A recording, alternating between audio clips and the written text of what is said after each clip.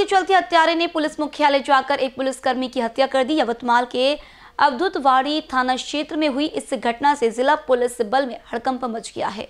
मृत पुलिसकर्मी का नाम निशांत खड़से है। जब वह काम के सिलसिले में पुलिस मुख्यालय आया तो अज्ञात हमलावरों ने अचानक पुलिस मुख्यालय के गेट पर आकर उसकी हत्या कर दी। घटना की सूचना मिलते ही अवधुतवाड़ी पुलिस मौके पर पहुँची और पंचनामा किया। आगे की जाँच जारी है। आगे की जाँच की जा रही है। कैमरा पर्सन अखिलेश भारद्वाज के साथ रूपा पंडित बीसीएन न्यूज़ नागपुर।